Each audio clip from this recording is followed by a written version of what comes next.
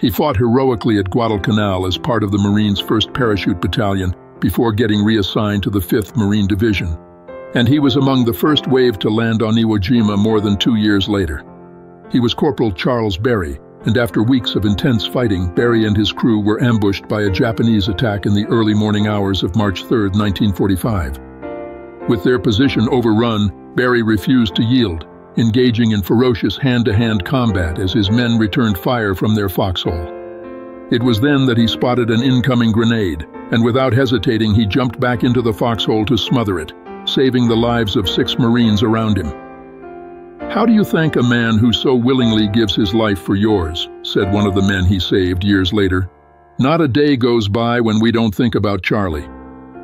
Charles Berry was awarded the Medal of Honor posthumously for sacrificing his life for his fellow Marines that day. He was only 21 years old.